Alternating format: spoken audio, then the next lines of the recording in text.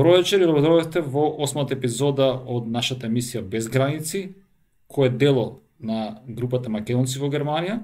Вечерва ќе имаме еден интересен гостин. Ние сме овде Македонци во Германија, но нашиот гостин е германец во Македонија, тој е Маркус. Има интересна приказна, затоа останете со нас до крај да ја слушнете. Но на него ќе му даја малце покасно збор, сега би му дал предност на Александар Буздевски, па ќе почнеме со нашите теми. Така, добро вечер и од мене. Голем поздрав до сите и јас искрено се радувам што овој пат имам еден одличен гостин. А, бидете сигурни дека ќе ве остави без коментар. А, сигурно сите се прашувате на кој јазик ќе го водиме ова интервју, затоа останете со нас. Нема да зажалите.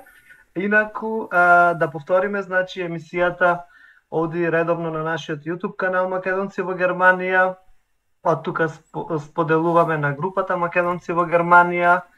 А, потоа оди на нашиот портал македонци во Германија.ком, на Инстаграм профилот Македонци во Германија и така натаму, значи а, во тој контекст да повториме дека а, секој кој сака да учествува во оваа емисија, инаку ние сме многу отворени за за дискусија, за разговор, за муавет. Секој кој има желба може да не контактира на нашата имейл адреса македонци во Германија gmail.com да ни пиши во коментар, во инбокс или било како. Значи, а, не сме кренати во облаци, туку на секој буквално враќаме, сај се разбира доколку тоа е во, во склоп на нашите можности. И а, воедно да, да ве замолиме доколку ви се допадне емисијата, може слободно да ја споделите, да кликнете лайк, да кликнете а, subscribe на нашиот YouTube канал, тоа многу ни значи, да знаеме дека сме на вистинскиот пат. И тоа е тоа. Зборот му го давам сега на мојот именјак Иванов. Е, кој збор бузле ти се каже? Еве ми го зема ово за јазикот. со Маркус вика зборот му го дам на Иванов, две минути зборува. Значи, ништо јас да го поздравам Маркус, се радувам стварно, ова ќе биде малце поразлично интервју, но нели затоа сме без граници. Значи, ете, имаме малце и обратна ситуација, па да видиме Маркус што ќе каже како германец за животот во Македонија. Е, Маркус, кратко за тебе, краток вовед. Thank you, thank you. ja, прво да кажам guten Abend на. Ja. Um, ja.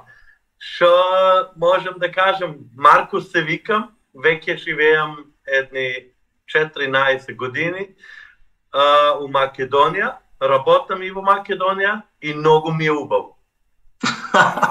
Браво. Маркус, ти си, значи не си родан у Македонија, нели? Си живеал предходно у Германија, у Бајерн, така? Така, така, да. Кратко за тебе, нели, имаш сопруга македонка? Е, точно, да. И ја сретнах и точно во Струмица на улица дори, да, как што си треба и така. Живеаме многу време у Германија прво и ја после неколку одмори тука и после повеќе време што поминах со Македонија, ми се само што да кажам, ја мислев е еден друг свет што у Германија тешко да го наваѓаш. И било и декта си. Така да, и ја така да донесеме некој ден, мојата беше иницијатива дори, викам, ај, нели бива там да живееме у Македонија, там да се направиме нешто. Еми може, ај, ќе питаме и ќе видиме и така донесеме една одлука да се преселиме, ја. После многу време у Германија, викам ај, друг живот да видиме. Ај да пробаш струмичка мастика, а? Да, имаме и чушки и френки. Да.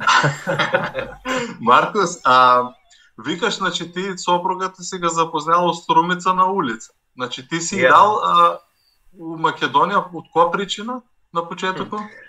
Ја, това е најинтересно, еден другар што имам, тај ме на Цивка, да сум му дал таму на одмор, оти многу убаво бил.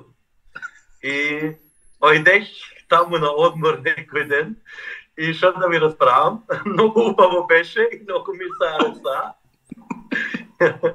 и ја, така, дојдех повеќе пати и запознајах мојата жена. Да. Тога е девојка, нели, ама сегашната жена. Да. Маркус, збориш многу добро македонски, или да кажам поише струмички диалект. Некој ќе помисли дека ние правиме сега тука фотомонтажа, кечат не, ој не, не нема шанси да е германец, толку добро да збори македонски, значи.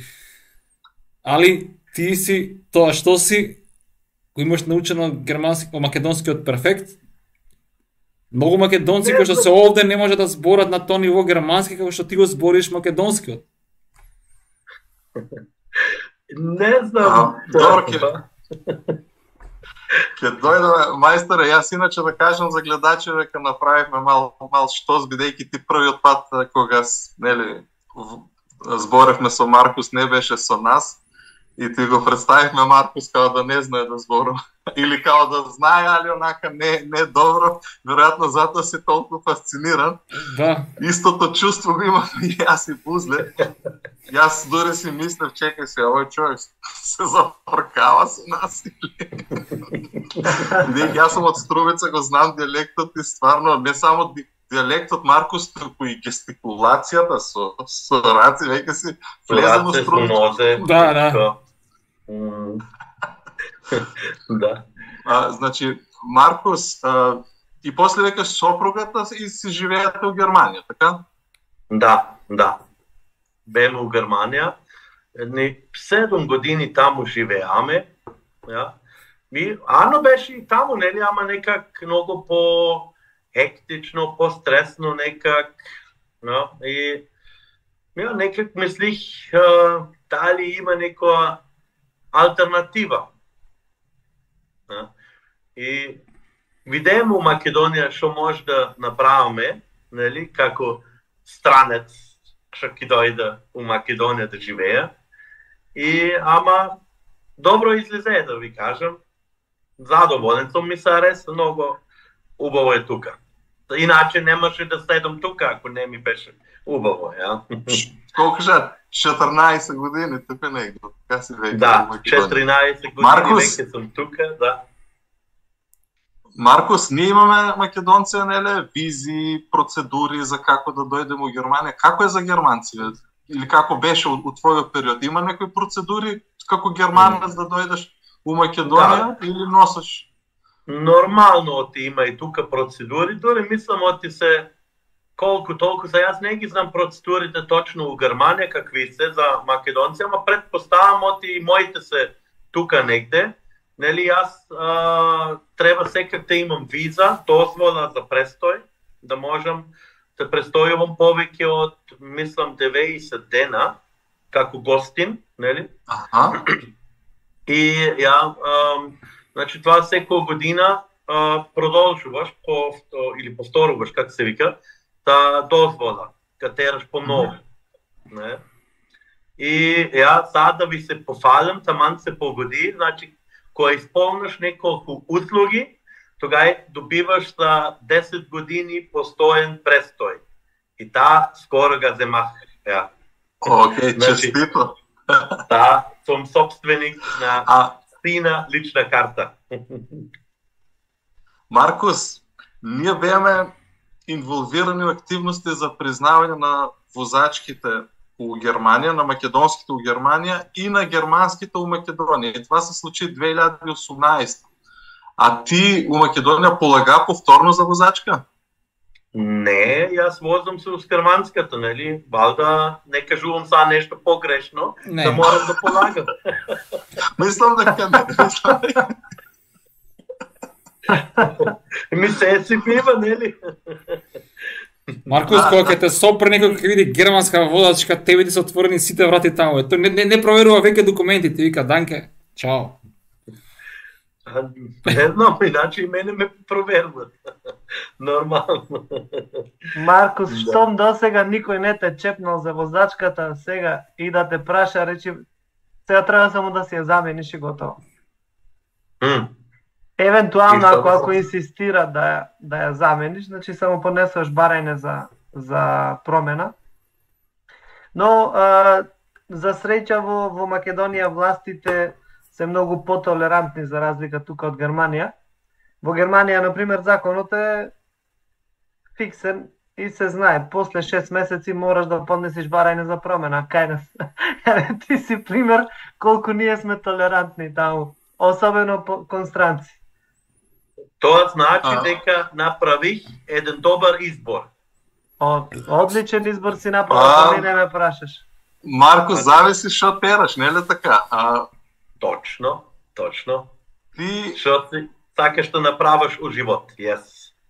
Точно, ти викаш, тоа беше одлуката, не, не ти беше некако, окей, Македонија е убаво, неле, убаво е за одмор, ама да живееш е нешто по-друго, неле, знаеме дека стандардот е по-друг, навиките се малце по-други. Ја на наши македонци пет години у Германија и тешко му да се врне у Македонија, викам, навикнах се, неле, на таа некоја си среденост. Мгм. И е, сепак и за нас македонците голем чекор да се вратам во Македонија, ако како германец додеш во Македонија, оште некако по возбудлива комбинација. Как беше кај тебе? Еми, нормално и това кај мене не идеше преку ног, нели, това, а, това беше прво како идеја, нели, како шо, какви опции имаме, ја? дека можда ние можеме секаде да одиме, нели, без разлика. А, ама ја, се на се ми идеше како добар баланс од се што тераме, нели, секој си има некои стандарди или а, услуги што сакат да бидат исполнени. И тука мислам оти у Македонија најмногу ми се погоди това оти ја. Um, например, тука е многу по нечепнена природа. Јас сум природен човек, например, нели, идам од Баварија тамо и тамо имаш немаш индустрии такви, да. И у Македонија имаш още многу убаво нечепнена природа, што можеш да се ишеташ белите дробови да си напунеш со свеж воздух, нели? И как да ви кажам, ја од сите параметри што тераме, тука ми се чинеше ти најдобриот избор е тај да дојдам за Македонија. И са, нормално, нели, на почеток, оти многу работи не ги знаеш, оти едно е да идеш на одмор, што викаш, друго е да живееш тука, такви некои работи е не следаш со тек на време. Нели, колку повеќе си тука, толку повеќе ќе се запознаеш со околината у која живееш. Ама, што знам, ја, има, как да ви објаснам та, има многу страни што у Германија, да кажам, тешко да ги навајгеш. Да не кажам ич. Ja? И са, пак идеме до точката кој што си сака во живот. Мислам, ако некој си става на плано да си воза за 3 години Мерцедес, ако сака да го воза Мерцедес, ке си го вози, нели? Ке си штедеш некој да денарче, што имаш, ама ке успееш да го направиш. И да не е за 3 години, ама за 4 ке го направиш. И така дојде и кај нас. Сега, как да ви објаснам? Не знам така да кажам, не знам дали објаснувам как што а, треба да биде. Супер. Не, не, супер се објаснуваш, Супер. а, Маркус. А, сега тука кога почна да објаснуваш а, некои работи кои што се многу а, битни за тебе и, и, и, и поразлични од Германија, предпоставам тука мислиш на помалку стрес во Македонија, добриот менталитет, пријателски народ и така натаму, или? М, Баш ја, у тај ред што си ги кажал, значи како гостопримстливо тука и од почеток било дека дека бех како да си тука, никој не ти кажува немам време, морам да излезам, разбираш, седи си тука, ела тука, раскажи малку нешто, нели? И топли се човеци тука, как те кажам, ја? А, не се Значи, они те внесат, ако идеш тука како странец, јас пар такво искуство имам, ако идеш како странец и те носат у било која куќа, не ги знаеш човеци ништо, абе како најумилен човек ќе те наседне на маса, разбираш, ќе те прави муабет, за друго, за трето, ќе те расправа о детството, вчера што им се случи на кумшиите и така натам, не? И са, тај е некој однос меѓу човеците што на мене многу многу ми се арест, многу ми се допаѓа. така. Да. Ја. Um, нели, оти, ја пак ќе дојам назад, ја, што сакаш во живот, um, ако сакаш само да станеш богат и у пензија да одеш е скривен, ја, ме ој да работиш. Ако сакаш да живееш, има и други места. Оти животот е еден и е многу краток. Да, да, Марко. Изгледаш ти размисляш многу поразлично од многу луѓе што ето на прво место за жал денеска е така се финансите. Ти си го избрал сепак финанси, Марко... да, неле, сигурно за екзистенција треба да има. Сите работаме иначе. А каде се работи повеќе? дека- Германија или Македонија? Молим? Каде се работи повеќе? Во Германија се работи повеќе потешка работата или во Македонија? Или исто е? Това зависи, зависи. Са, и тука има тешки работи, и таму има тешки работи. Ако гледам по сатови, ние многу повеќе работиме тука отколку у Германија, например, ако си вработен. Нели? Не. Ако си приватен е нешто друго. Това зависи как се наместиш. Маркос, ама, е, неле, ние работиме некак со сатове повеќе, ама продуктивноста е друга. Да. Значи, Епа. во Германија за 8 сата това што ќе го изработаш, у Македонија може ти треба 50 сата. Да кажеме спрема продуктивност, што што ga неле, работната Мгм. продуктивност. М. А, и да, им, има разлика, неле, сатовето си сатове, плюс у Македонија прилично се исто, да кажеме, разделечијата до работа е малечка. У Германија и това е малце проблем. Значи, штау, еден сат на там, еден сат на, назад, знаеш, и това Мгм. те зима малце М. време. У Македонија ти работиш, кажа, у Скопје, така? Да, ама работам од дома. Да, иначе От- прек компјутер ми е моето, јас ја, пато за на работа, да паднам од кревет и да го менам собата. Това ми е пато на работа. Аха. така да, мислам тоа можеш и во Германија, нели не Да, да, особено да, особено сега во ковид времето беше така. Значи Да. Маркос и 16 години неле викаме од почетокот си имаше некоја представа и гледам оште те држат добрите впечатоци за Македонија. Значи не не ти се е сменило да кажеш е сега после 16 години не е това това. Не, не, стварно, още ме држа, дори ми се аресе, оти дори повеќе потврда ќе добијам на това што мислих, това што терах и това сум си најдал. Така да, иначе нормално ти има, секаде има две страни. Да, нели, тоа е нормално. Ама това имаш и горе, имаш и доле. И сега пак ќе дојдеме, зависи ти како човек што сакаш да направиш од твој живот.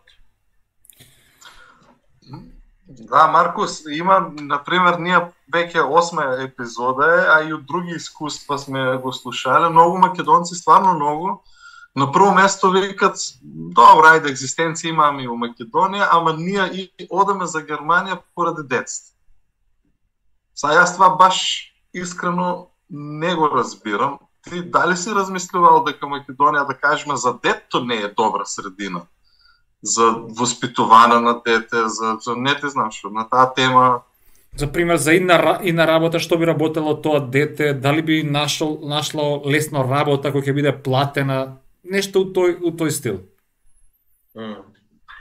Еми, за да порасне едно дете, мислам, оти е баш убаво да порасне тука, оти таа слобода што го има тука, на друго место тешко да го навајгаш. Сам мош, кога ќе дојде моментот за работа, да, тогај ќе видиме, нели, на дека оде возно. Ама това веќе е одлука што не морам јас да правам, това фактички јас това е за детето веќе. Нели тука може само да го заветуваш и да го паташ малкичко. Да. Ама това веќе он треба да одлучи, иначе а, то толкова, ама не сме още. Ја, Да, ама он си, он си, он си говори германски, нели? Ако, да, да. ако затреба, спремен е и за Германија еден ден. Да, да. Дето дури не само што говори германски, значи он има и германски пасош, оти е роден у Германија. Така да. Мгм. Значи он как има 10 годишна виза или? Не, а, него го фајке еден закон, што мене не ме фајке, оти сум премногу стар со тај закон. Аха. Иначе он има а, двојно државјанство, најнормално. На него му дозволат германците да има он двојно, на мене ама не ми дозволено. Јас морам да одлучам или германско или македонско. Да, Аха. кога сме кај кога сме кај државјанствата, Маркус, а, еве тие што ќе гледате гледаат емисија, сигурно има многу кои се затекнати од тоа. Да кажеме дека моментално а, законот за двојно државјанство за така наречените трети земји, во кои спаѓа и Македонија, е во во најава и најавено е дека во текот на ова година некаде во текот на летото ќе биде дозволено двојно државјанство, значи без да имаш обврска да го откажеш своето а, матично државјанство. Така да доколку доколку тоа сето успе, во текот на оваа година ќе може а, легално да си поднесиш за добивање на македонско државјанство во твојот случај, а ние за германско. без при тоа да да мораме да се откажеме ние од македонското и ти од твоето германско државјанство. Е, супер. Значи, тука ќе ве чекам на вас, кога ќе дојде момент да ме информирате директно.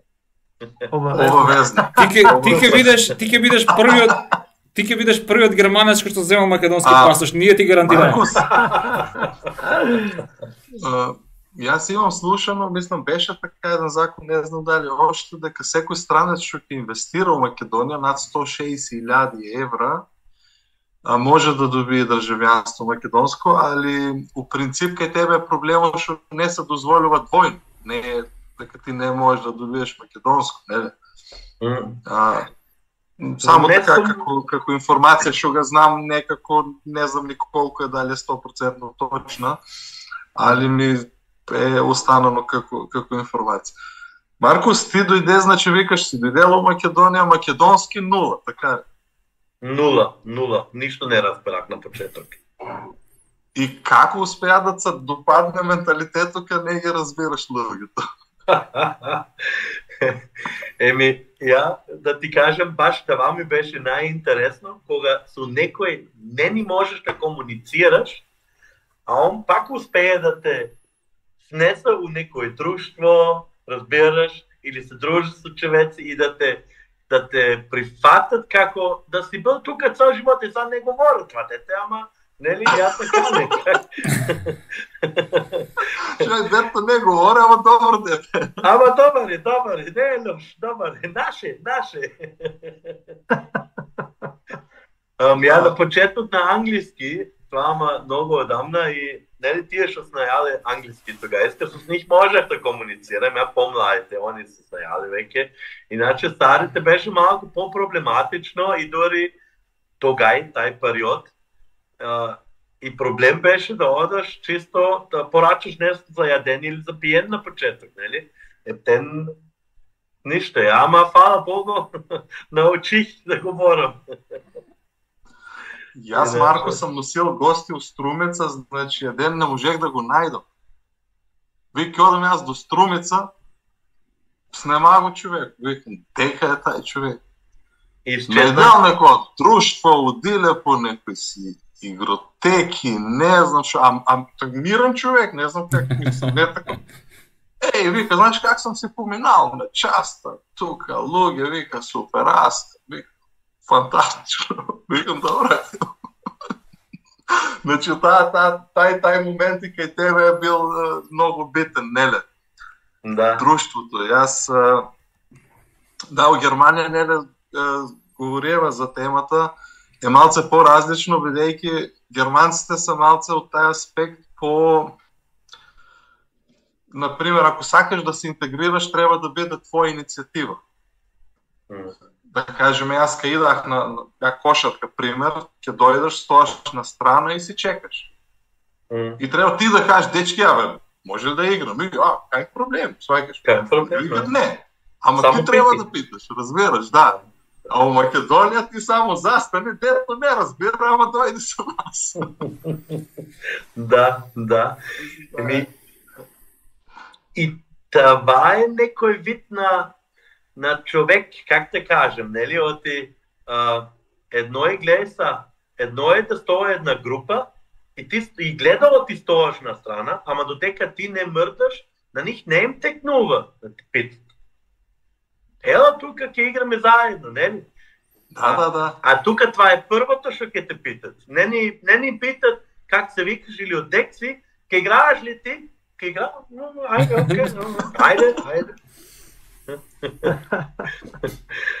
Маркус, а, кога кога се договаравме за емисијата, ни кажа дека си имал многу смешни овај а, случки во однос на јазикот. И јас се сеќавам на на случката кога ни раскажуваше за кога си отишол да купиш две баници. да, това беше very, very Интересно. да.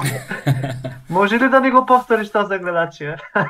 Нема проблем, слободно, слободно. Ја, ем, етен на почеток беше, знаев неколку зборови на македонски. И у едно друштво седеме и текна на нив да одат до пекаро и да се купат некоја баница там. И аз викам, ај, дај јас ќе одам, как ќе научам, нели? Мора да дај и одам јас, нели, питам што треба да кажам и тие ми кажа, нели, на англиски, на англиски правам обед. Они ми објаснили, вика, go there и кажа, дај ми две баници. Нема проблем. И се тргнувам. И влевам унатре, нели, и таа жена у пекарата ме пита, ти дечко, што сакаш? И јас викам, дај ми две панјарки. Она ме гледа. И она ме гледа. И викам, дечко, што знаеш нешто ми кажа, ништо не разбрав, нели? Што знаеш ли? Викам, дај ми две панјарки. е. Марко, са не, не знаме дека струмичкиот не е најлитературниот јазик у светот. Така да, не, не, нема книги, нема одек да се уче. Как, как дојде ти до тај степен и колку ти требаше за да почнеш да функционираш на македонски? Да. Ам, не знам, јас а, почнах да научам од книгите, од а, имаше едно дете, беше таман прво у првото деление, и јас од, со два дете заедно учих тогајска од книгите. И почнах литературно, ама ам, пошто се движах многу у струмица на улица, и некак влезе ми струмички у крс, да. Друг свет е, не? Не знам, иначе това од, од муабет, од чисти муабет. Јас а, на почеток а, ми имат кажано и други луѓе дека на почеток сум зборувал по-убаво македонски.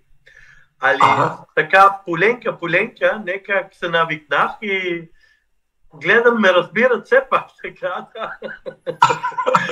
А имаш преку работа имаш комуникација со луѓе што говорат литературно? А Не е тоа. да, да. Иначе, пошто имаме многу луѓе што работат од дома, од home office, и од сите страни, нели? Ја од Битола, ја од Скопје, ја од Велес, ја од Струмица, од Штипот. Цела Македонија има неколку луѓе. Иначе има различни диалекти и разбирам ги. Ама за Да. тебе мислам дека било А, тешко. Со, со, со читане, со такви работи не ти е проблем, кирилица. Не ми е проблем. Знам и да читам и да пишам, да. Али на почетокот ти било комплицирано од латиница, кирилица, па малце М. На почеток најголемиот предизвик е тоа, да, да да го научиш алфабет фактички, Да. после ама е некак лесно, полесно отколку германски предпоставам, оти ми кажано од германски бил многу тешко за учење, А македонски е прилично лесно, оти как се говори, така се пише. И. Да. И как се пише, така се говори. Нема тука бегане, многу исклучоци. И тоа, да ви кажам, брзо одеше дори за а, рок од три месеца, јас се вкупно пех пет месеца у Македонија, тај пат. И за рок од три месеца знаев веќе да говорам и да дури и да читам и да пишам. Значи многу брзо научих, ама мора и да кажам имах голема волја. Да не кажам за инат ќе го научам. Иначе имах голема волја. Оти имах една случка тука, лето кога а, јас кога дојдех првиот пат за Великден беше. И тогај немаше од страна некои човеци од Швајцарија, од Германија, нели што се преку годината таму горе. Јас не можев да комуницирам со многу луѓе. И ка бе тука лето, и јас бех пак тука. И това лето толку страшно добро поминав.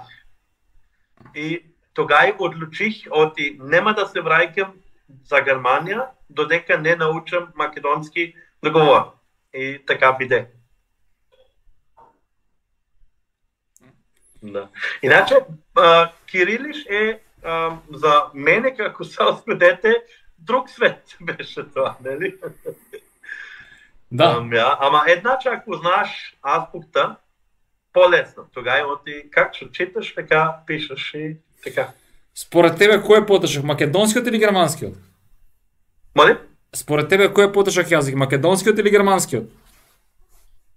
За мене германски не ме прави никаков проблем, ам на македонски грешно час. Нормално. Нормално. Не, ама Бобан кажа, кажа Маркус дека предпоставува Да. дека германскиот е потежок. Ради да. пишувањето. ради пишувањето, ради Не знам, многу луѓе викаат, да кажеме, особено од овие што се српско-хрватско говорно подрече, многу им е тешка граматиката наша, македонска, со тие наставките, дрвото, реката. Е, тука и јас грешам. Да. Дали е дрвото, или дали е дрво, или дрвоно, е, това не знам. Добро, Струмица нема баш многу дрво, но Не така, Са, до толку ние не се замарам. Маркус ни кажа дека добро си склопан, склопан у, у Македонија, прилично брзо се научил, с другаре, друштво, предпоставувам на сите страни. И това имам најдено, да. Мислам, оти сум во нека многу стрекна ситуација, што стварно имам едно многу добро друштво околу мене, да, што се разбираме, ја, се дружиме и си го живееме живота. Маркос има од Струмица посебно, нели ние сме порано селта повеќе, сега и градот, нели екстремно гастарбајтерски град. Имаш близки блиски пријатели што се заминале меѓу време за Германија? Да, за жал, да. Да, да. Дори повеќе од колку што ја, ама не можеш да ги сопраш, они чим се одлучат, да. чека им правиш, да. Јас се им говорам да размислят убаво, ама ја секој си има своја причина, нели? Зашо? А, има има некој тренд у Македонија, значи многу луѓе особено ние секој пат сме се селиле, ама некако последно време како мода да се иселиш. Како ако не се иселиш, демек знак е на неуспех или такво нешто има во општеството и ти што викаш пробуваш да ги убедаш. Многу луѓе и добро со ситуирани со супер положба во општеството едноставно решават да се заменат. М. А, Ајде, може сега со това интервју малце ќе се, сега гледај, гледај, да разбудаме друг аспект на на на на гледане на работа. може Мајсторе како сме може после може после интервјуто уште 100.000 германци ќе дојдат. Е, бизнис е тоа. Како? Вика може после интервјуто со 100.000 германци ќе дојдат да живеат во Македонија. Тогаш ќе имаш Why not? А, Маркус кажа дека имаш многу пријатели од Македонија кои што се селиле од Германија. А дали имаш пријатели од Германија кои што се доселиле во Македонија, тоа ќе продолжиме после краткава пауза, малце таа тема ќе ја разлогиме да видиме како тоа се функционира. Сега може да направиме на кратка пауза, па се враќаме за базо.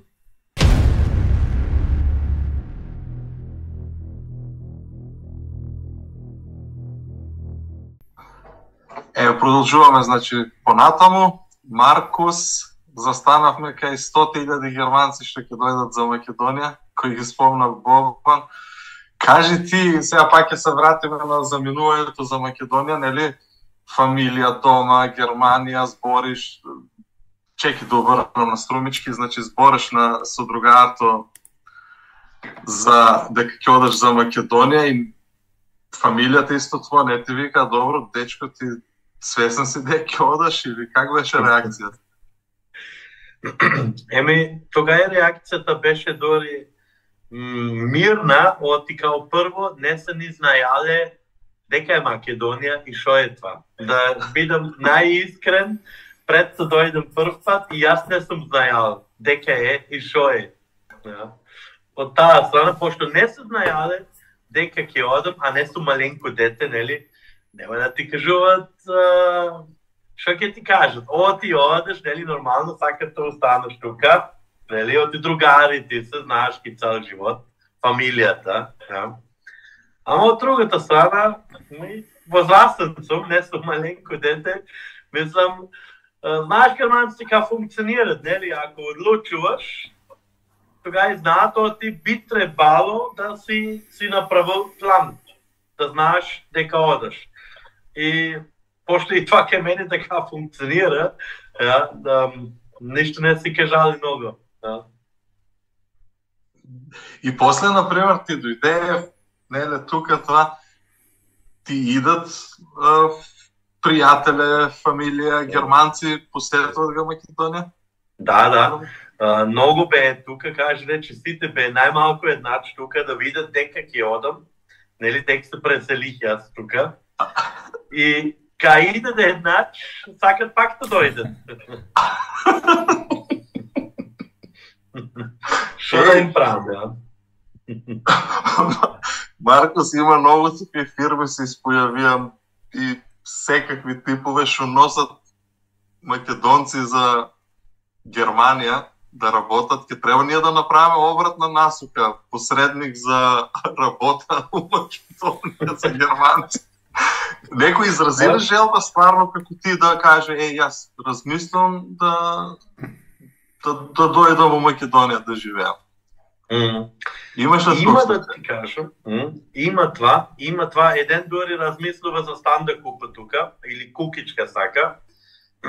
а иначе, а, са, нели, пошто се има две страни, не е лесен чекор, така да се преселиш, да кажеш, ај, до тука, и да си одеш на друго место. Никак не е лесно. Било у кој правец, нели? Па е голем чекор у живот, голема измена, или как те кажам, нели? Така да, едно е им се ареса, ја, дори те викам од Муабеча спрат, ја, еден вика сакам да си купам и јас тука нешто, и да живее и он тука, од им се ареса на сите, нели, ама на крај на кршта, едното ти е само идеја кога ти дојде на одмор кога си, а друго е за да правиш тај чекор устварно после, нели? Оти има а, са со фамилијата, јас, на пример, си гледам еднач у годината или два пат, нели? Оти не е, можеш секој ден да одиш на гости или нешто каја. Това, затоа викам се има две страни, нели? Маркус, а, еднаш два пати годишно одиш за Германија или или ти или твоите идат за Македонија? Како како Или правиш? они идат, или јас одам, да. Јас дори поредко одам, почесто почнуваат веќе они да идат, ја. А Маркус на мене многу ме изненадика не дека го спремаме интервјуто. И сакако човек што си екстремно вклопен у нашиот менталитет, ама една работа не си успеал, значи да да га да се вклопаш, а това е да пиеш ракија. Еми, да ти кажем да, това е точно. као прво, оти не знам да мезам, јас право почнувам да јадам. и, и најверојатно, пошто цел живот и пијам пиво, ја, и која јас пијам ракија, ама ка пијам, почнувам да го пијам како пиво. И зимам големи гътки. И това од искуство можам да кажам, деца, това не повторајте дома, не осанарно. дома не. А кога кажа пиво... Беше интересно това, тај начин на, например, пиене со мезе, да кажеме, това го нема, освен на Балкан, но не ми е познато да го има на друго место. Не знам и јас, дали има на друго место, иначе ја ти викам како германец, не сум навикнен на това, јас ќе дојдам, ќе јадам, а после ќе пијам. Нели? Нема да мешам пиво, пиене и јадење. тука това е како стандард по дефолт ода. Па тука така. А, јас пак ќе кажам, не сум многу навикнен, но ти почнувам право да јадам. да. Значи, таа навика ти е останала од Германија. Да, еми поленка, поленка, јас знам да мезам, чак пат успеја, ама ја повеќе ми ода на јадење. Еве, Гер, Германија е позната земја по пивото. Што ке каже за нашето македонско пиво? Имаш пробано скопско, битолско или било какво? Каде сме? Па и они се добри, ја, ја са, нели, а, Добри се они, ама как кармани, што да кажем, сами ставаш. не, не, пошто види, јас, јас, јас го обожавам она баварското пиво Агустинер. Тоа ми е многу убаво. Да, со зелена етикета, тоа е многу убаво.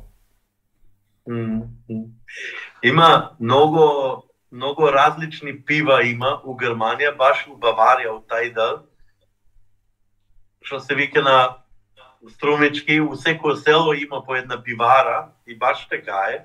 Значи имаш многу повеќе избор, нели? Многу нормално, ти човеците прават това дури фамилиарни со генерации веќе и тие имат си некој шмек направено веќе што тешко и некоја друга фирма да стиге, без разлика дали од Македонија или од Холандија или од било дека, нели? Оти, они се многу искусни управени пиво. Ја не знам, не, не разбирам јас ништо од това, не знам како се прави, ама не сум правил никој пат.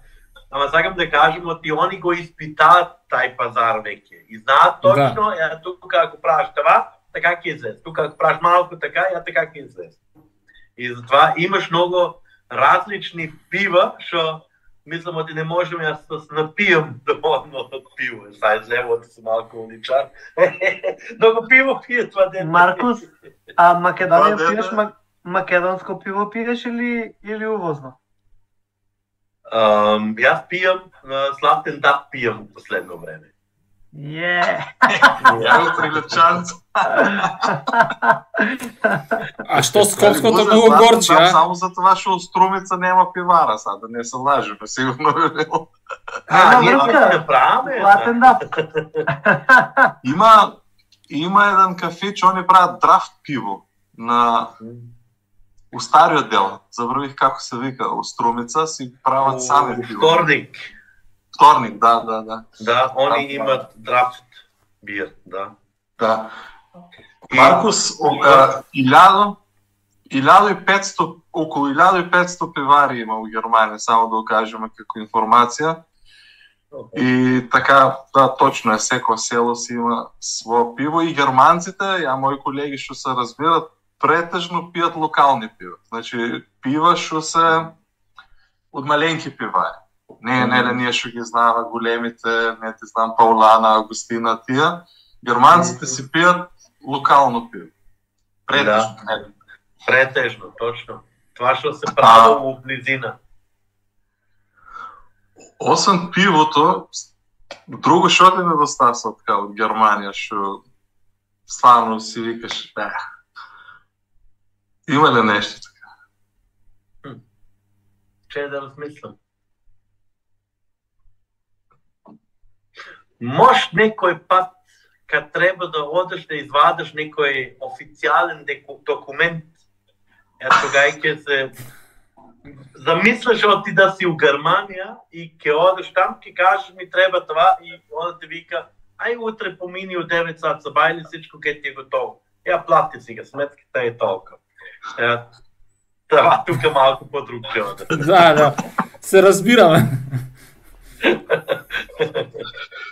А, Маркос, ти не кажа, викаш, у Германија бех у Јужна Германија, говорах диалект. Да. Баш така, ја гледаш, у Германија живеах у јужниот дел, у кој вонка од тај јужниот дел на Баварија правам обед, викат, тие не можеш да ги разбираш. И чудни се некак таму тие баварци. Нели? И сега се селих у Македонија и пак сум на јужниот дел и пак, пак, пак викат на, на томати, не е томат, тука е френка. И пак викат, ти чудно говориш. Шовска, шовска јадеш ли, Маркос? М, обожавам шопска, да. И со пиво? Или как? И со пиво. И дури ставам и оцет на шопската. И тука ми се чудат најмногу. За пиво веќе, ај така, ај така. Ама оцетка ставам на шопска и кажа ти... Е, ќе направиш некоја шопска на, на Маркус Арт. На Марко Зар. Ја. Е, това, това предпоставам, оти само јас ке го јадам веќе, така. Маркус, а Маркос, инаку, как си? Да, Гозде? А, инаку генерално македонскава храна как ти се ти се допаѓа? Много, много. Ми убава е кујната, убава е храна. Така, ја, и се познава дури оти ми се ареса малкичка, ја. Само ти седам и само главата ми се гледа, не се примејка толку много. а иначе, јас а, сакам га македонска кујна, нели? Јадам, кажи речи сичко, почнувајќи од бобче, ја, до домашни колбаси, и скара многу нормално, скара ми е, мислам, оти ми е на прво место. Тавче, гравче. Тавче, гравче, може. А как ти се как ти се нашите струмички кабаси? Маркос, нели германци исто познати по Weiswurst и така. М. Как ти се струмичките? Супер. Иначе, добри се, на мене ми се аресат, ја. Нели? Пак се вици нек малко од дека, ама у глобално на мене ми се многу убави, имат некој посебен добар шмек. Да, ние тука македонците многу познавам што си прават сами туку Германија дома за да имат наша македонска или ние у случајот со прас, не знам како и у другите градове, у Струмица ние со прас ги правиме. И така, навикнали сме са ние, не знам, затоа те питам како како ти беше на тебе храната. И општо Да. Маркос кажа на пример друштвото тие работи, што се други работи што ти се допаѓаат во Македонија така? Не знам. Менталитето е едно, клима, начинот на на на живот, спонтаност, што Да, од се това што наброја сега, од се помалку, да. Иначе и географски ми одговара, на пример, ја јас ам, ка сакам у море да се бајнам, ја гледам у колата, за два сата сум на море, нели?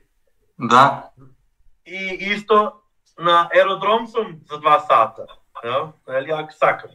Но друг правец, така да има повеќе работи, не е само нели едно, тука кажав оти секој си има параметри и са а, повеќе работи се убаво у Македонија. Има многу природно богатство на пример, нели? Што шо у стило ја не четена природа, ја некти читав оти имало на еден баир тука близко, имало некоја сорта на а, пепаруги и само тука ги имал. Значи, само таму се били тие. Не се шират многу, многу, само на тај баир одгоре кружат. Ја? И това е нешто што тешко и това го ќе го наваѓаш на друго место. Гледај са, што сакам да кажам, може некој објаснувам убаво. А, у Германија е всичко е под контрола, дури и шумите растат, они се садани, нели, метар по метар по метар. А, тешко да наоѓаш некоја дива шума, разбираш? Се е тука скенирано, испланирано, направено од човек. До ту, додека тука многу работи още не се чепнани од никој. Значи, чиста природа, што се вика. Значи, стерилното и, и у Германија, да кажеме, прилично се е под, под коцка, не да това сакаш да кажеш, там кај нас е малку Да. по-живо.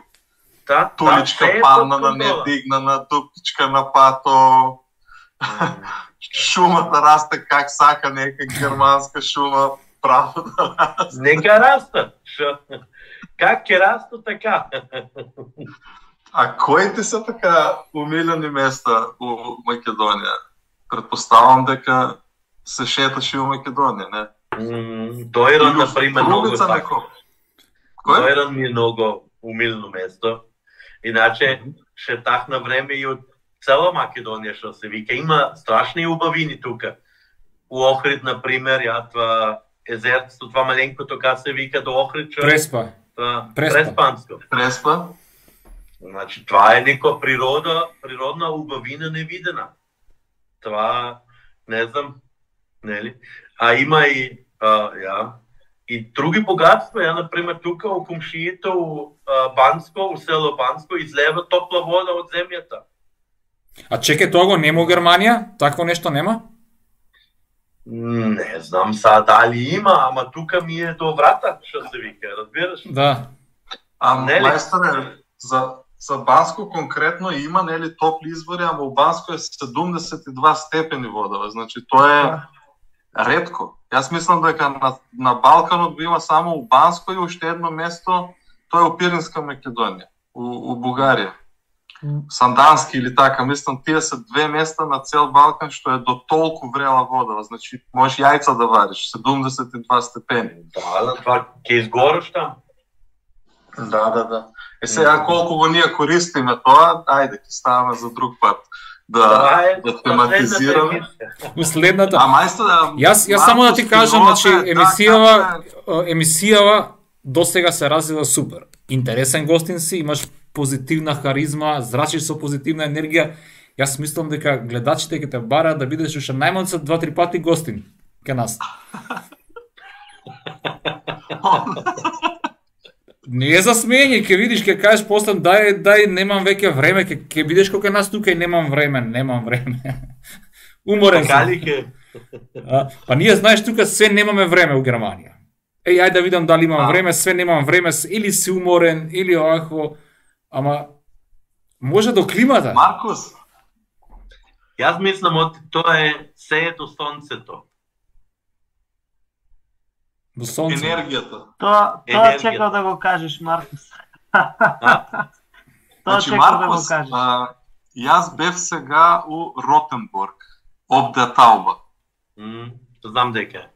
Градчето е преубаво, значи ево, можем на секој да му го препорачам тие работи. У 6 сато се продавниците затварат и. И у Значи, се- у шест и п, жив човек нема на улица. ролетни се спуштат нима, значи си има туризам до дек си, у 6 сато, ајде туристи дома, затвараме, пријатно.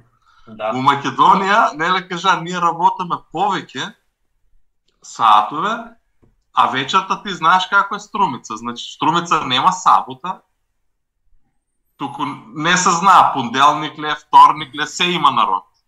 М, Тога е енот почнува живот. Како, како објаснуваш тај феномен? Не знам, јас мислам оти Гвиса, у Германија всичко е под конец. Се е под контрола. И ако пораснаш у таа средина, мислам оти ќе влеваш автоматски у тај систем и ти ќе се навикнеш пошто сабајле у 6 сат ти треба да си тип-топ на нога. И да не те фале ништо, да не те боле глава од сношки што си пијал. И да треба прво апче да пиеш, па кафе да пиеш, па цигара да пиеш, па му обед со колега да направи, па стана 10 саца да почнеш ти да работиш. Тоа мислам у Германија тешко, нели? И така се навикнат, они, за да се легнат у 9 сат или у 10 најкасно. Пошто у 6 треба да е тип-топ, значи он станува у 5. И што знам ја, така навикнани се по, на некој ред, разбираш. Да. И јас се кјавам, например, на една случка, баш кога се роди детето, у Германија тога живеаме, и дојде бабата. Тоа помага околу детето, нели? И една вечер ставаме вонка на тераса и бабата ми вика, добро бе Маркуса, тука тие сите къщи живее ли некој таму? Викам, да, живее. А вика, а дек се тие човеци? Се е темно, никак не ги гледам вонка да се... Е, викам, бабо, 9 и по сат веќе, вика, ама е там едно светло света. É, vi que minha tija se naši nekaj. Inače, zašel je tva taka, ne znam, ampak znamo ti je taka, da. Ampak za tebe tva ne več je problem, ne, le ta. Da? Da ga smenaš način na, na, na, na funkcionalni, ti v Germaniji si funkcioniraš isto tako, pokasno ukrevati. Znači, jaz po principu принцип функционирам по-германски, нели? Ама, а, ка викат србите, с ким си таков си, и така, примаш малкичко, а поленка, поленка и научуваш некои работи, нели? Па ти не одат по-германски, така. Шо вика, ако не можеш да ги победаш, ким се придружиш? Ми? да. Еми тука можам, например, слободно да се договорам с некои човеци да се видиме у 8 сат и аз веќе знам пред 10 сат тај не се појава. Оти кагал у 8.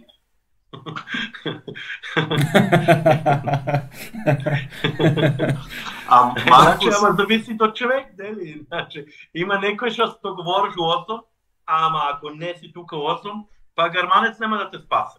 Нели? А има некој што у 10 ќе дојде. И затоа треба да знаеш со кој как. Така да. веќе ги познаваш. Види, това, ај за приватно не е, да кажем, ајде, веќе ги запознаваш, секој се навикнуваш си. Ама как сме у смисла на работа, исто ли го има тај менталитет на неточност? Или како Не. кажеш? Се, ај, значи, што можем за мојата фирма и за моето работно место да a, tam se po germanski funkcionira, tam vse. In mhm. uh -huh. sa normalno na nekoj mladež, naprimer, jim se dešava, ja, uspije sa bajle, ne li. Dešava se i u Germaniji, tva ne, o ti ne, razbiraš, sekade tva. Ampak no. inače, v globalno, firmata si funkcionira po germanski. Koliko toliko, mislimo, ti se točni. No? Овека не Јас само што ќе се успиеш, него, него каде и да појдеш, бауштеле, штау, умфал, и ти не можеш ништо да испланираш. Секој пат касниш на работа. Секој пат. Така? Малце да заврне, катастрофа. Тоа ти е катастрофа. Пуни улици, аз бех у Смолара пред 2-3 години и нема еден човек само служи, двојца, а народ пълно, знаеш, неделя. И викам, добро, Сашо немате персонал. Ама вика има ама едни млади деца, вика, три уидели черам на некоја забава и изопијале се и не можеле да дојдат денеска на работа. и си го кажувам, е, абе, децата не спијат. Еми, што да правя? така е. да. Маркус, а ни спомна а, еднаш два пати а, одиш или да ти претежно одиш со кола или или летате со авион? А, веќе летаме. Иначе, оти многу е пат, голем е пат, не на почеток, многу пати ојдеме со фамилијата, со колата, ама веќе летаме, така да, по-лесно, по-лесно да мараш, многу е пат. Да. Колку километри колку километри од Струмица до твојот роден град? Има околу 1700-800 км од прилика. А, да. Што значи секак возиш најмалку 2-13 сата, најмалку. А зависи во кој период, ако е летно време, тогаш на граница со со Унгарија или вакво ќе чекаш 6 сата, 5 таму, ако е летно време. Да, да. Да, да. Тога е още по-лошо. Да. Да. Затоа викам најмалку толку, нели, да всичко да ти ода без проблем да мине секде, пак секак си 2-13 сата само возене. И това како... Да. Сега лета лета визер од Македонија, ама сега кој што слушав и, и Lufthansa ќе почне да лета за Македонија. А, не сум знаел. Да, да, сега ќе почне да лета, тоа е нешто ново. Не знам колку дали е све се се подпишано договорено, али ќе почне да лета и Lufthansa. Знам од од аеродромот во Франкфурт дека ќе лета исто. Па така да Супер. имаш повеќе можности. Може и да берам Визер или Lufthansa веќе. Па да, Или со А само да видиш дали Да, одговара, дали летаат до до твојот аеродром во Германија. Това најмногу. Мене ме Визер ми одговара супер, оти до Меминген летат, нели? И каже речи дома сум. Да, да. Близко ти е мене. да, да. Близко, близко е. Да. Мене ми 80 км, 60-80 км. Не е далеко и супер е пат така да. Викаш не е Супер, далеку а как се 60-80 км за Германија. Дали е далеку 60-80 км во Македонија? Е, това е друга прича. Ама, имаме сега ние, ја, а, некди бех со Скопје, Да. пато е 130 км, са сат и пол без нервоза. Така, имаме и ние еден нов автопат, ја, не е само кај вас горе. А, не е кај вас. Маркус, кага, кага чувствуваш Македонија за тебе? Како усекаш се како странец некако или как се чувствуваш? А, Види са, јас си направих куќа тука, значи јас си направих и дом, нели? Така Мгм. да, јас а, сам мош не се усеќам како чист македонец, оти това не знам, нели? Ама, а, јас се усеќам дома тука. И Да. не ми фали ништо, така да... А, има ле, Маркус, има ле, знаеш ли некои други германци, германки, Струмица, Струмичка, у Македонија? Имате Има. ли контакти? Има дори двојца има тука, ја, тие се другари некои ја, и они се у моменту веќе година и живеат веќе тука, у Струмица. И они работат од дома нешто, сам не ми пити точно што работат. А, нешто со веб продажби прават. И на нив им се ареса, ја тие се млади, иначе а, тие јас што ги знам се поголеми, малку повозрасни. А, не у Струмица, ама у Дојран, например, познам еден брачен пар по-стари пензионери се тие. И они си уживат, они се иста приказка како моите, ја? И они одлучи, вика, ај, дек да одеме, дек да одеме, им се погоди некак Македонија како најдобра опција. И они се купиле у Дојран по една кукичка, една маленкичка. И таму си живеат и а, уживат у пензија. Ама И се мислам- дојдени како, како пензионера у Македонија. така? ја они се дојдени пред уствари да влеват у пензија, малку порано излезе од работа, најверојатно имале се некое заштедено нешто, неко пара, предпоставам, нели? Од Мгм. они пе, што кажа, мислам, 50 години нешто бе кога се. Okay? Со што секаш значи уште најмалку едни 2-13 години чекаш до пензија да стигнеш еднос, нели? Мгм. А иначе, на нив и они, со нив ако се дружам, ние сме на една мисла и они викат по-добро не може да се погоди како тука. Ја. А, јас знам една моја братучетка, има пријател, ето дечко, он е швајцарец. А, исто Струмица, али он, он е пократко, значи още почнува твојот пат, неле, М. на место Баница, Бајнарки и тие работи, али и он ето Швајцарија например со оште повисок стандард. Не, Он оште не е целосно преселен, али е убеден дека Македонија е земјата што сака да живее. Иначе, истиот пат, значи некој пријател, ти некој пријател македонец, нели, така првиот пат кога дојде. Да, да. Да. И слична ситуација. А пензионерто не се лоши за гости да не бидат. Говорат ли македонски? А, малкичко, многу малкичко. Едва и толку да знаат да преживеат, ја да основните работи. Да, Ама не, значи не не им ни треба, они се двојца таму, им е убаво и си уживат. Маркус, тие не знаат малку, туку ти знаеш многу. Да, Јас мислам, некои од, од нашиве гледачи што што ќе се вклучат а, рандом така од а, од средина или од а, од друг дел во емисијава, нема да знаат дека еден од четворицава на екранов не е македонец. Јас тоа сакам да го прашам. Е, Си имал ситу, ситуации кога, пример, ќе те сопре полиција или нешто такво и му даваш лична карта, да кажеме македонска, германско име и презиме, му збориш македонски, не му е чудно, не те прашува, е, си бил у такви ситуации? Да, да, па дури по-често това, кажи речи, секој пат се дешава. Аха. да. Од, као прво му е чудно, как видеото и всичко е у возачка, у регистрација се е германско таму, нели? И после јас му говорам струмички тука и прво те питат, чек сам Маркус ти од дека струмички така да говори. нели? Мисли фалша нешто, да, да. Маркус, Маркус тие, Расправани, тие испромовира Македонија, Македонија многу поеќе него било кој. Треба да добиеш некој грант од државата за промоција. Тоа 100%. за туризам, за било што.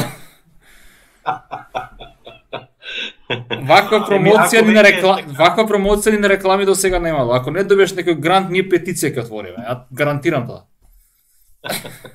Е, това не знам. Маркос ни кажува дека знаеш, имаш широк, стварно широк круг на пријателе. И јас знам дека многу пријателе ето и некои се и јас што ги знам лично, се исто глумци многу знаеш од Струмичкиот театар. Одаш ли на театар? Одам, одам чат пати на представа, да, да. На Да, премиера да. им одам да ги видам. Да. Иначе как ти е Не у Струмица, нели ние имаме нокен живот, и работи това или повеќе ресторанчина, како как си го минаш времето слободно ни Струмица? Ми как си го минеме а? Дома као прво си го минем, најмногу време, ама ако сакам да излезам, е сад точно нокен живот, нели, немаш тука а, 30 дискотеки да избереш, тоа, а, ама пак, ако сакаш da jadaš nekde, da piješ nekde nešto, da si praviš morbecu z nekoj. Bitno je da najdeš trušku kao prvo, da ima nekoj sloboden čovek, veli, što ki seda su tebe na masla i posle lesna je rabota. A takvi ima dovoljno, da. Pa, nije svi se така мислиме, vidi sa oti. Не е само всичко у работа. Нели? Има и, има и друга страна. Секаде има. Две Да. страни. Човекот Маркус- треба да се работи, ама треба и да се живее, нели? Да, да, точно. Точно. Маркус, а, м- македонци кои се во поголем број што идат во Германија, за разлика од германци што идат во Германија, во Македонија, се навикнати на тој ритуал секој ден кафе шема, да се пие кафе, па тука кога дојдат влезат во германска шема, тука кафе се пие во просек еднаш неделно или дури за да пиеш со некој пријател треба да да се најавиш, е ај дали имаш време другиот четврток да пиеме кафе или така нешто. Е сега ти како германец од Баварија си дошол во Струмица, тоа за тебе беше добра новина дека се пие кафе секој ден, ти одговара тоа или или некако ти е многу Значи, да, ако веќе правиме за кафе, кафе муабет, ја, Тугај. Добро, не мора да кафе, нека е пиво, ракија. Да, да, да. Види са. За кафе, стварно почнав повеќе кафиња да пием преку дента отколку у Германија. Пак и намалих едно кафе на ден, доволно ми е. Ама нели пошто кај нас се вика ќе одеме на кафе, а може и да се враќаш стабајле у 3 сат.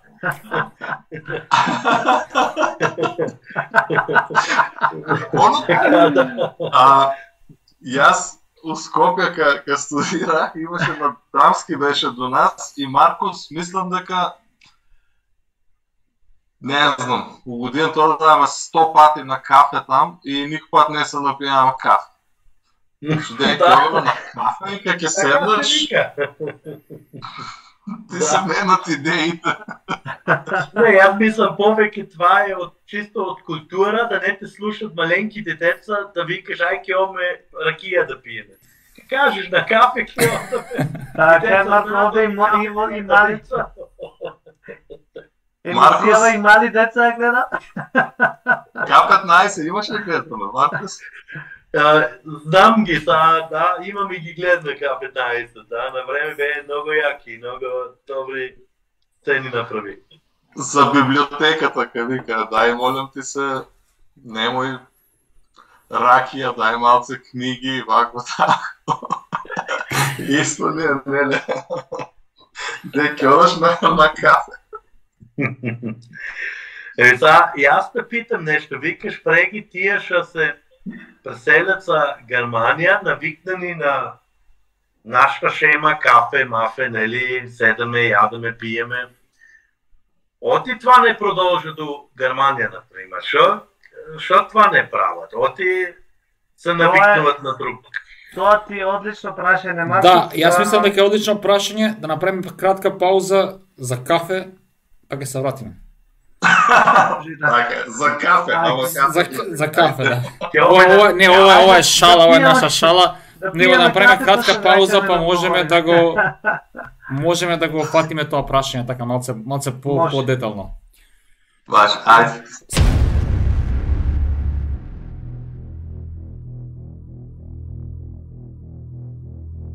Значи се враќаме после кратката пауза и мора да му одговориме на Маркус на неговото прашање. Значи Маркус во однос на тоа зошто таа кафе култура се намалува некаде помалку, некаде повеќе кога македонецот иди во Германија. Значи секој има свое објаснување и јас можам да окажам кажам она што јас сум го искусил, она што е како мое како мој заклучок зошто е тоа така. Јас мислам дека за жал а, тука сме на туич терен, терен каде кафе културата е се се, се повеќе се разбира како, како луксус се гледа на тоа затоа што пред се самото слободно време е луксус во Германија. Хајде да одиме еве и кафето, значи е, да да излезеш на кафе поприлично поскапо, значи треба и не е така едноставно како кај на себе. конкретно јас од Прилеп јас се случувало од денот и по 3 4 5 кафиња да пијам. Таму е се едноставно, значи едноставно одам во град или пешки или со точак или кола паркираш некаде, ги знаеш сите места, а ваму мораш да одиш со кола, да платиш паркинг кој е прилично скап. И сето тоа одзема, значи, време, пари, значи сето е комплицирано тоа од една страна, од друга страна, а, тука системот е многу поинаков. Значи, сите некаде брзат, сите имаат некој стрес. Значи, тука јас не знам да, да се сретнеш со некој како кај нас долу во Македонија, спонтано е да оп, еј, кај одиш, еј, ваму, таму се, се зазборуваш, па викаш, еј, ај, дури стојме тука, елај да седнеме пола сат едно кафе да пијаме. Значи, тоа во Македонија е секојдневно. Во Германија тоа, за жал, многу ретко се случува, што мене лично многу ми смета.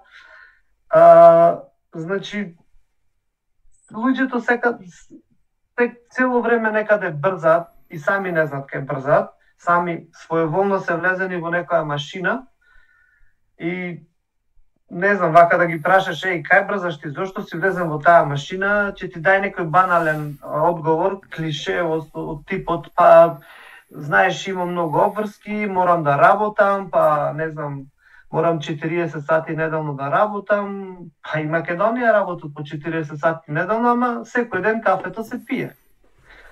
А, значи, многу е, многу е тоа редкост овде, значи, не знам, дај Боже да грешам, дај, ја посакувам да има многу македонци тука кои си ја негуваат таа кафе култура, тој, тој ритуал. Ама барем барем овде кај мене тоа не е така, јас секој сум искрен и кафе пиеме или еднаш неделно или на две недели. Сега за какво, А. за какво кафе мислиш? Кафе, кафе или кафе, кафе? Па добро сега нека и пиво, нека и не знам. Ракија тука А. нема. Да. А, а, амбиентот е едноставно друг и на мене, пак ќе кажам, енергијата е друга, Маркус, не да кажаме сонцето. А, јас во Македонија имам сосема друга енергија, а енергијата се исто и луѓето, луѓето зрачат со енергија. Знаеш, кога ќе одеш од Струмица, на мене а, еден дечко од Берлин ми беше, мислам, од тука од од Калсруе ми беше на госте негде октомври, значи и немаше наши странци позади, значи Струмица си беше комплетно само луѓето што си живеат. И беше недела, излеваме, нема место. Дека се гледа ракоме, дека се гледа, а, а 10 саат од вечерта, знаеш. И дечкото Да. ме пита, вика, Струмица колку жители има? Па викам 35.000. Како бе вика 35.000?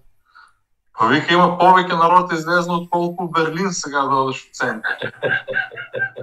Е, па има викам луѓето, знаеш и са, самиот тај амбиент са тука, ај ние ќе се- ќе излеземе Боба, јас и Пузлевски, де ќе одаме сами ќе седаме него, сваќаш?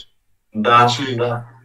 Самата самиот амбиент, едно е сонцето, енергијата е друга, М, ама енергијата и луѓето си го дават меѓусебно. Да. Јас знам, јас сум од Босилово, знам луѓето земјоделие работат, стануваат од три савајле лето, Мгм. али вечерта обавезно сите се пијат пиво на продавници. Да. Зборам за, за порано, са нели кај нас Да, да, и така. Али луѓето го има таа желба обавезно да излезе. И сам Маркус вчера се сретнах со еден мој пријател германец. Исто беше ми на свадба, Македонија му е он е малци така по темперамент различен. И ми вика порано, е, имаш ли време, не знам, у мај 26 мај. Викам, Томас, тој што ти ости, ости 26 мај, ти кога ќе си слободен, ќе ми се јаваш, на дента така кога кај ќе имаш време и ќе седнаме, ќе пиеме пиво или кафе. И од тогај Маркус, он се научи така, ја го вчера ми звона у 4, вик, слушай, са плеам околото од Штутгарт, имаш ли време? Имам ве човек. Ке, ја веќе имам некои маленки обврски дома и ќе ова на пиво. И уидеаме и си поведеме некој си ритм, без големо договаране, без големо рам там там там, едноставно се јавуваш, имаш време, ја ја оданај Ja, и готово. i festiga. Значи, таа е ситуацијата. Јас малци и ние самите некако се премногу интегрираме, а од друга страна германците, моите пријатели се отворени да се променат од тај аспект. Mm. Mm. Се- Да. И далечината, нормално, ние не сме тука компримирани на едно место, еден живее тука, друг живее на 100 километра, знаеш, Da, da, По друго е у Македонија се патишта некак пократки, знаеш.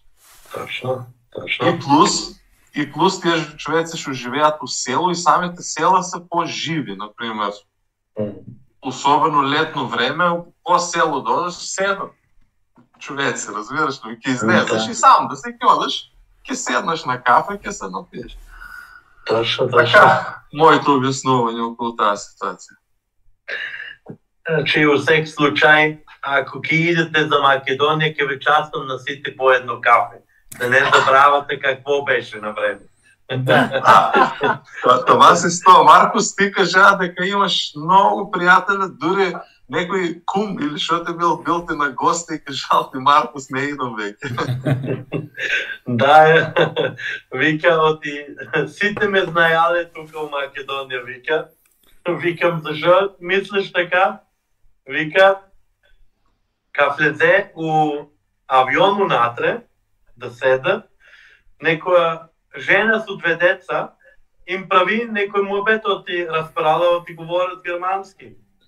И ги пита, вика, Што правите вие германци тука у Македонија? Как дојде до ситуација за Македонија да дојдете баш? И кумо и вика на жената, абе ја бех другар ми да го видам. И таа жена му вика, Маркус да не е. И он се вика, од го знаеш Маркус? Е, вика, кој не го зна Маркус? Маркус, ние има искуство после секоја наша епизода, значи луѓе, а и последно беше со Игор, што не беше, неле, гости.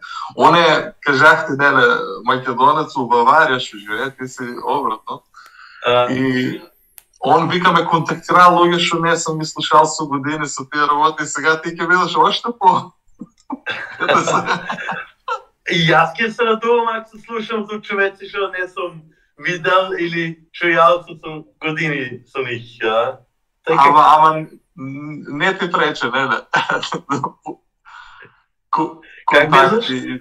Викам, не ти пречат контакти со луѓе, е, Маркус, не, на, навикна се на, на, на не, не, не, не, не, не ме прече уопште.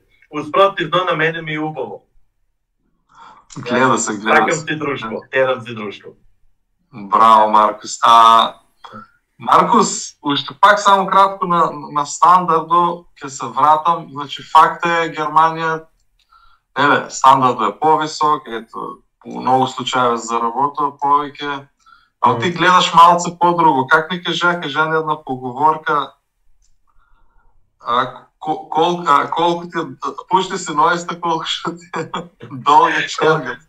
Колку ти е долга чергата, да. Еви, так, ама и така е, шо? Така е. Гледај са, ја пак и јас ти кажам, стандардо, да, знаме оти не е ист у Македонија и не е ист у Германија. Не можеш това да споредаш, оти тие се различни места. Нели? Ама на крај на кришта, пак ќе доваме до това. Што сакам јас во живот, а? У Германија воза школа и јас имам кола. У Германија имаш кров над глава и јас имам кров над глава. Да?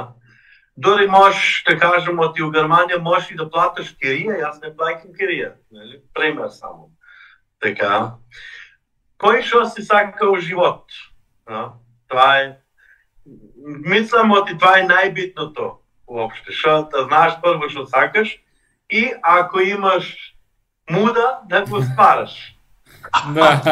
Да, стварно, стварно, неле, муда, како што се вика, има многу, неле, и ние размислуваме, кај мене е малце друга ситуацијата, ама имам а, доста македонци што стварно, ето, кафе им фале, на мене лично ми фале многу спонтаност, на това можам да кажем е нешто што што најмногу ми фале, бидејќи сум исклучително Македонија, што викаш ти одаш на кафе и стварно сакаш да се напиеш кафе, на крај да завршиш у 5 сат са вале на кванташ, разбираш? Сакал се да се видиш со, со, со Джоджто, а седаш со Маркус. Не, да, Да. разбираш. Со сем, значи, излеваш, зајтин да купаш, И, се- без пари дома. Да, да, да, да. Значи, това е нешто што што многу ми фали, многу. Најмногу ми фали тај аспект. Ама ето, и това е кај многу македонци. Ќе видиме, може ке се ќе се седат ситуацијата, може луѓето малку повеќе храброст ќе се има. У секој случај твојата твојата приказка е многу многу многу интересна. Не е секој темна секак, да, дефинитивно. Маркус, јас можеш? сигурен. Да, повели. Е, Извини, може и сака ќе видите еден германец што живее у Македонија, може ќе кажат, е, па што може тај германец, можем и јас. Што? Може ќе се врата некој. Одек знаеш. И ќе пие пак кафе, ќе има друштво, ќе има време за другари. Мислиш македонец да се врати пак во Македон... од Германија или како? Мож, а може и некој германец ќе ме види што разбира македонски и он ќе дојде. Не знам. Тоа малку поредка, ма дај Боже. Маркус, а, еден наш заеднички пријател сад, да не откриваме вашето хоби, што се дружите, нели? А, он се врати од Италија за Македонија.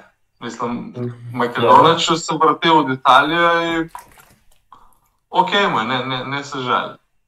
Значи, Не се има, жали.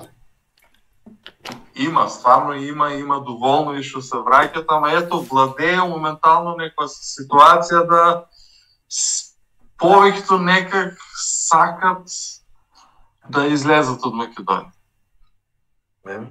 Кој што си сака? Точно, точно. Да. Как ќе си постелеш, така ќе си легнеш, така ли правилно? бе? Така, така. Как ќе си постелиш, така ќе се легнеш. Марко, Добро, добро, мислам- Маркос, иначе да кажеме за таа емисија стварно посебна, е, нешто различно и за таа емисија има друга друг систем на позадина. Така да ти си ни први гостин што ќе оде со тај тип на позадина, па ќе видиме. Океј, Дали океј. ќе се допадне на, на нашите гледачи гостинот и позадината. А, така. Супер, супер. Маркус, јас само сакав да кажам дека сигурно многу кои што ќе гледаат оваа епизода со тебе, ќе се запрашаат па што му е на овие 80% од времето зборуваат дека овој се вратил од Германија во Македонија. Што што им е на луѓе? Ама сигурен сум исто и дека има многу а, кои што ќе речат дека си направил вистинска одлука. Која Се надам дека ме разбра. Значи сигурен сум дека ќе има многу кои што ќе го оправдаат тоа дека си одлучил да дојдеш од Германија во Македонија и дека финансискиот аспект не е пресуден, дека има некои други работи кои што ние во текот на емисијата детално ги разработивме, за кои што вреди секој да размисли на твојот чекор. Па да, Бузле, инаку, например, мислам дека над, и тоа многу над 100.000 гер... луѓе од Германија, сега може не се сите германци, на годишно ниво се иселуваат од Германија. Така да, не е тоа ништо ново, но во Македонија, ете, споревме сега Струмица неколку примери, Маркус е сепак на некој начин е ексклузива. Супер, Бобан, ти нешто Не. за крај? Јас сум од тие што нема да се врати у Македонија, останам у Германија, затоа си ќутам. И тебе ќе те частаме кафе. Да. И ти И живеј. ти си и, А, Маркус, Живеј! и јас сум добро дојден. И јас сум добро дојден. Маркус, ние ќе го пиеме у, у Македонија, но него ќе му го пуштаме по пошта. А, така. Е, каква пошта? На, на WhatsApp една слика ќе му пратаме. Ја. Може. Маркус, користиш ли социјални медии? А, користам ги, ама слабо, да. Јас не, многу ретко ги отворам. Некој пат ме вика, абе човек, пишах ти таму и ваму, викам тебе, ако сакаш нешто јави ми се, тебе пиши таму. Забележи како комуницираме на WhatsApp, пишам и два дена, ама одговараш, добре. Да, да, пак е, јас. Треба да се биде страплив. Одговарам, одговарам, ама ја додека го отворам, тоа може да стова кај мене. и една недела да не го читам ништо страшно. Да, да, да, значи веќе веќе се скрос уклопено. Се макар што ние во Македонија со социјалните мрежи сме малце дури и претерано. А, такво. Ја со тие За разлика од германците, они така да. Да. Да. Супер, супер Маркос, стварно беше многу интересно. И на Да, мене да беше се запозна. многу убаво, интересен муабет направи име да ви кажам. Баш лайк за емисијата, дефинитивно. И сите да кликнат тука доле, тука, subscribe, Subscribe. Така, да. там, там. Да, тоа Маркус тоа а, тоа е баш тука под твојот дел. Да. Тука е лайк и subscribe. Е, е, Некако па сака супер. да коментира. Значи, Арно, по- Арно покажи, ја тука, тука. Тука некаде, да. Ја, така. Маркус, благодарност си од мене за емисија, беше прекрасен гостин, како што казав, полн со ха, харизматика, позитивна енергија, човек со тебе може да збори не два сати, 22 сати, пак ќе биде малце.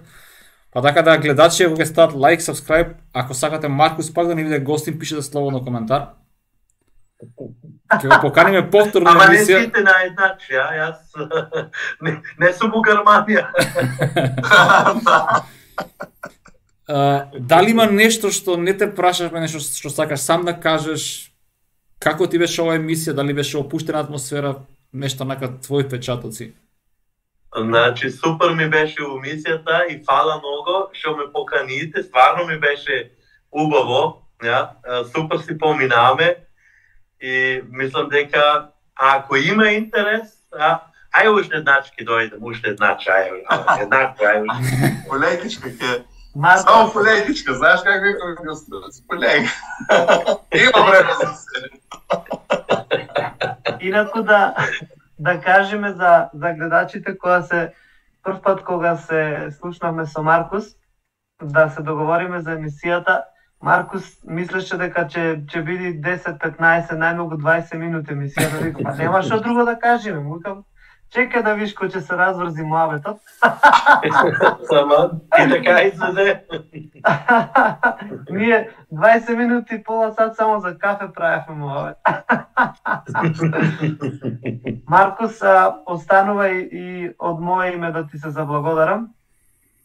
Многу се радувам што ја припати поканата и сигурен сум дека сите што ќе погледнат оваа емисија ќе им се допадни а, затоа што е многу поразлична од а, изминатите седум епизоди. Значи оваа осма епизода а, ќе биде а, многу поразлична, но од друга страна и многу по според мене многу многу има што повеќе да кажи.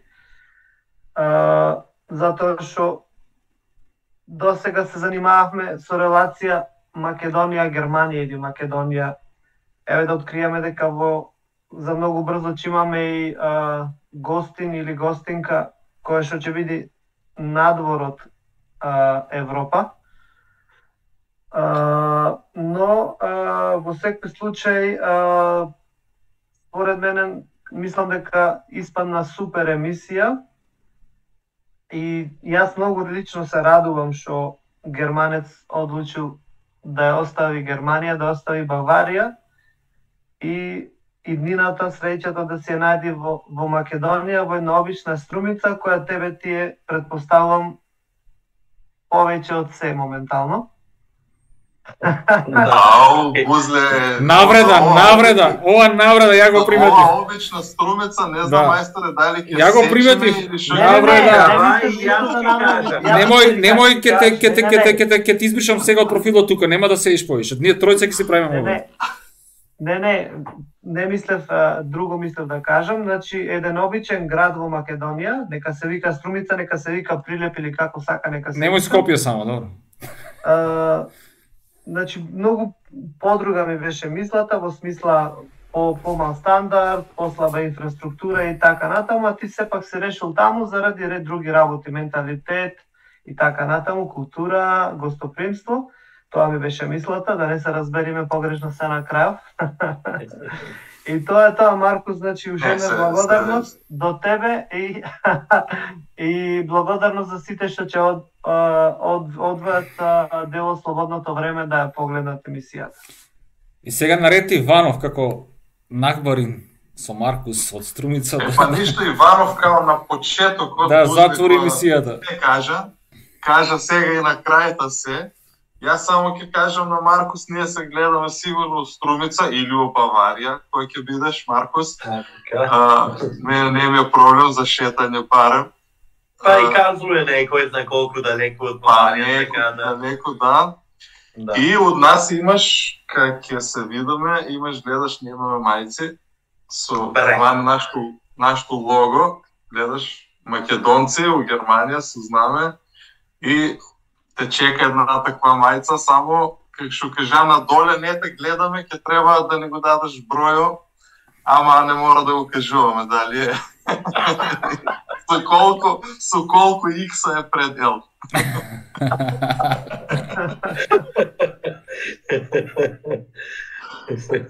Ај, ќе си кјутав на тај пат.